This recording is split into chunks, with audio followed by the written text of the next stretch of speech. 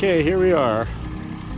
This is the new location for the propane tank. Thousand gallon propane tank right there. Just got done clearing it. 40 feet away from that structure and about 80 feet back will be the riser. And kind of cleaned up, leveled out. A little sitting area back there. And uh, that's going to be a lot of fun. Drink coffee in the morning. But, uh, yeah, it's a, good day today. It rained all night. You everything's real loose. Sheds, vinyl sheds didn't work out. They're too flimsy and the welds were off on my uh, bridge. And I just, nah, take them back. I'm just going to stick built something a little bit tougher. Keep saying, but uh, I'm going to build a little vinyl tractor shed there, but it's just too flimsy. So I cleared out a space under the port, which is perfect, especially with the snowblower on there. And uh, the ATVs, if I don't have time to build something, they're going to sit here under a tarp. Of course, uh, the grizzly there gets a blade. It's I've already I've had a blade on that thing forever. So yeah, trees pretty thick back there. I am hand digging the connection, the two halves of the trench. Dug with my little tractor all the way from back there right about there, I ran into a big old boulder, car-sized boulder. Had to go around it. There's another one down there, but it was uh, just at two feet, so I thought, ah. And then uh, this is a combination of my neighbor and myself. Uh, he dug most of this trench. You can see the difference. Mine's that narrow bucket, and his is the wider one. That's his tractor there. We blew a bead over here trying to do the, the cut in, the connection. But uh, eh, what the heck, you know, stuff happens. There is another culvert pipe we got put in. In our road cloth, we got two rolls, 360 feet worth, 15 feet wide. And so We'll be working on that here shortly. A lot to do. Off grid living. Well, enjoying the heck out of it. Just me up here. Mama had to stay down at my daughter's house and uh, work from home. But uh, as soon as we get Starlink up here, it'll work out. It's a matter of time. Here's the hole here four by four, seven feet deep. There's our wiring trench. This is going to be the solar tower, or yeah, solar tower. Yeah, there you go. It's going to be a pole about 12 feet up, and our solar array is going to hook to it, and it'll be able to pivot with the sun. So our winter sun sets right at those treetops, dang it. But if we're up 12 feet, we'll be above it. So we'll be above it for quite a while. And uh, the sun comes up right over there. So after it's all in, we should get six to seven months of free energy. Generator won't even have to come on. Uh, that's gonna be cool. That's where you make your savings right there.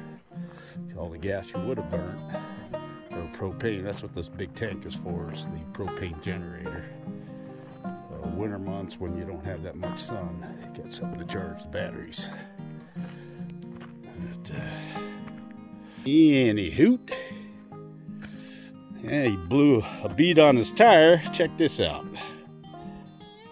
That's beet juice.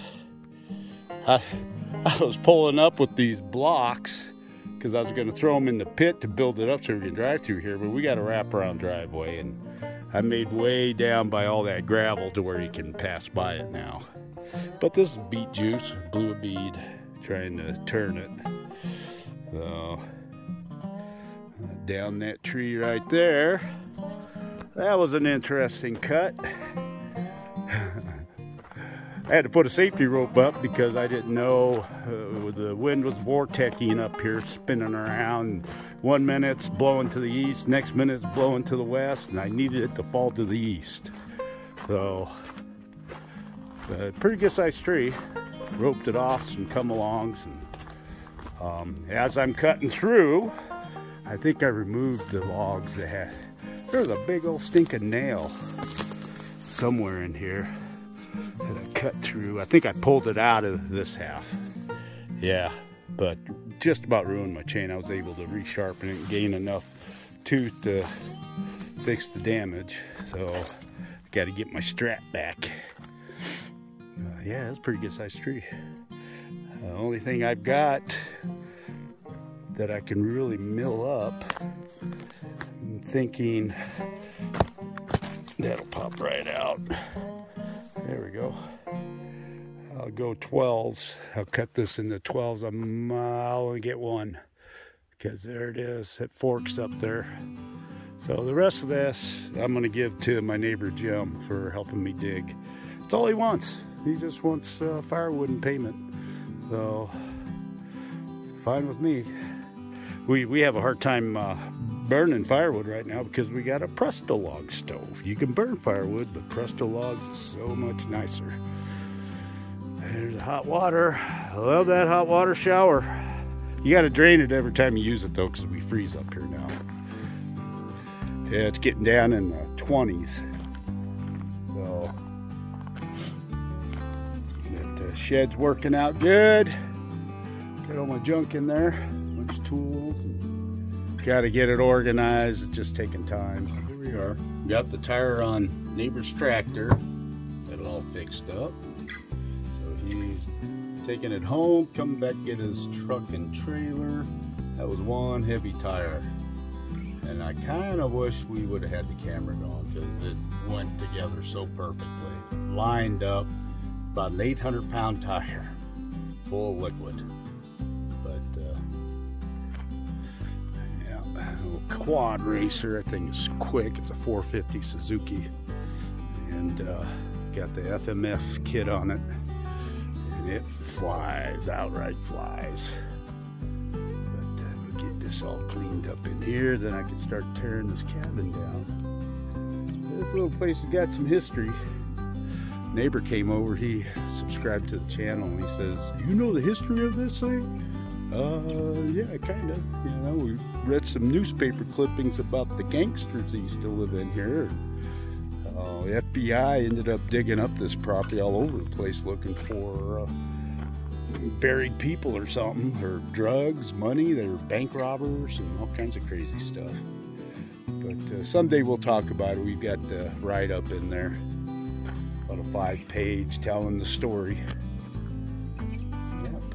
And then that's that's mama's little raised bed garden she's gonna plant some stuff in there we're gonna get some wood shavings and put wood shavings on top to hold everything down. But everything's working out good. Show you up here. All my fishing poles. Store up there backpacks and stuff and kayaks. Got four kayaks up there. Oh and that old wood stove, man. That thing, it heats that little place all day. You know, all you do is throw a log in every four hours.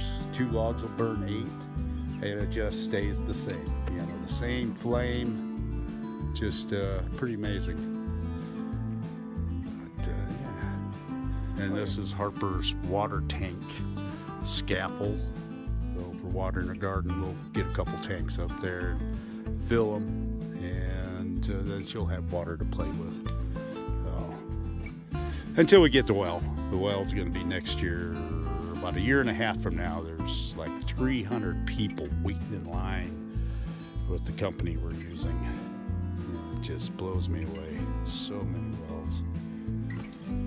But yeah, that's it, man. A lot of digging gonna work out great. You gotta build a uh, 8 by 12 or 8 by uh, 16 watershed back there. The generator's going to set off the back of it. And we're going to have a two-stage system, riser attached right to the third leg in from the front of the camper. And then we'll have uh, the thousand gallon propane tank hooked into the RV for our little heater. And probably going to last us about three years. Fill it every three years. I don't know. We'll see. Once the generator starts working, then that's that's the true teller there, what it's going to be. There's where I'm parking the tractor for the winter. I'm to build a snow blower, put it on. And it's raining right now, so hope my ditches don't fill up with water. That wouldn't be good. But it's not supposed to be heavy downpours. Yeah, trim up that tree here when I get a break. Just got done uh, building a battery rack. It's going to go across the tongue here. We're going to have uh, four deep cycle 100 amp Renogy batteries, well, just like those. Okay, so and then I'm going to build a little back seat so I don't have to keep switching that seat around. Uh, when I was digging the ditch, I just, I got a pad back there. I laid over those uh, prongs and it, it, didn't stick me fortunately, but uh, yeah, I need a little seat right there so I don't have to keep switching that seat around. Maybe a little bicycle seat or something. I don't know. I'll have to figure out something. That's not a bad idea.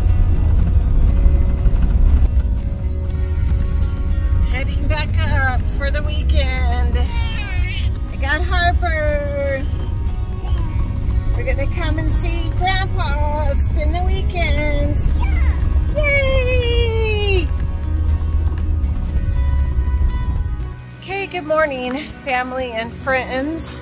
And thank you to the new subscribers. So I think we're getting subscribers that are not immediate family and friends. So thank you very much.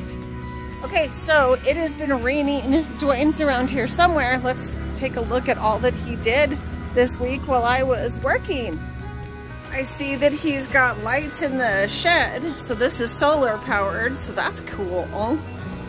He's put the tractor under the carport and he is building a ledge to put more batteries up here because we have two more Renogy batteries. It looks like he is creating a new area inside these trees. We want to build a place where we can hang hammocks and have a little little small fire pit so we have to clean all this up trim these trees way up it probably won't happen this year but who knows this looks good our thousand gallon propane tank has arrived. So we purchased this outright, then we have freedom to get gas who, where we want. Looks like he's been digging the trench. So this trench goes out to where the solar panel pedestal will be. This trench, and these are two feet deep. This trench goes all the way over here, and this is where the pedestal will be for the RV, and then it'll eventually go to the cabin. Okay, now we're gonna walk over to see the pit, maybe where the uh, solar panel pedestal will be. And it's cold. My fingers are cold. Ooh, check this out. Whoa! That's so scary. Ooh, don't drop my phone in there. Oh. Wow, he's done a lot. So our neighbor, Jim, we call him Jim Neighbors. He's a super sweet man. And he helped Duane dig that because he's got a bigger tractor. All right, let's go touch base with Duane. That's it, man. Uh, good day and I'm going to get back to work. I gotta, I gotta make this connection here. My pick and shovel and bar.